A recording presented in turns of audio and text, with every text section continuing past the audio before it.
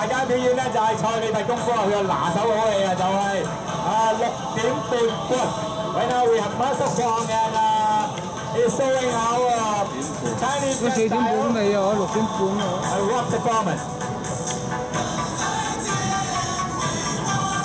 太李婆的功夫是那个棍术，这表演是六点半棍。